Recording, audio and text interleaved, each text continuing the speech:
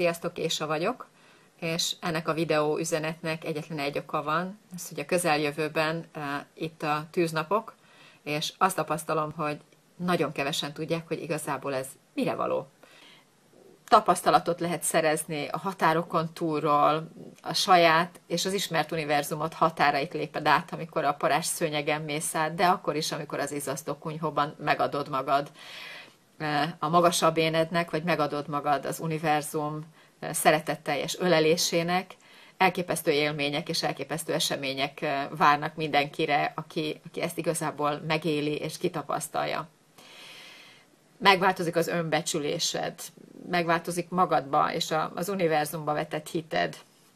Egyszer megváltozik a, a, ezek hatására a lehetetlenhez és saját gátaidról való elképzeléseidhez kialakított hited. Egyszerűen megszűnnek a gátak.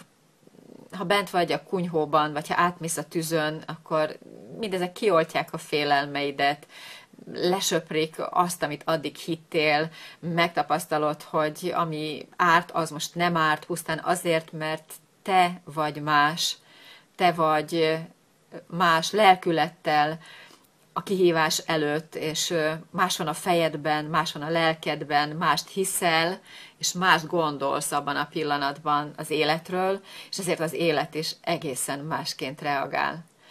A kunyhóban nagyon sok korábbi gátlás, félelem, fájdalom, mindaz, amit talán életek óta magadban hurcoltál, az egy pillanat alatt ki tud szakadni belőled ott szoktak kérni, ott szoktak fohászokat elengedni, ott szoktak meditálni, imádkozni, és, és igazából az áldások ereje óriási.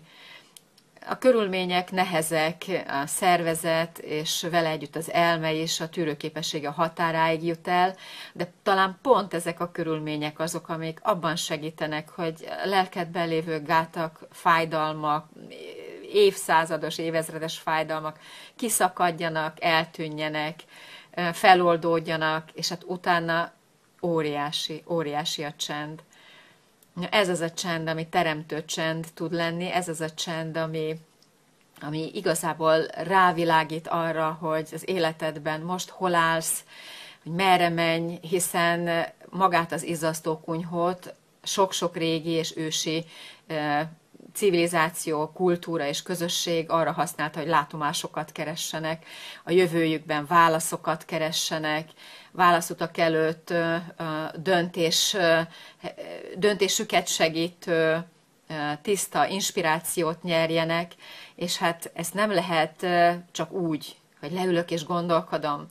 Ehhez arra van szükség, hogy a lényed összekapcsolódjon az egész univerzummal, hiszen minden segítő, erő, energia, szellemi lelki segítőid, vezetőid, mind-mind ebben a pillanatban, vagy ezekben az órákban ott vannak veled, hiszen meg tudod érinteni te a lelkedben őket. Mindig vannak, de ekkor te vagy olyan állapotban, hogy a mindenséggel és minden segítőddel kapcsolatba kerülhetsz.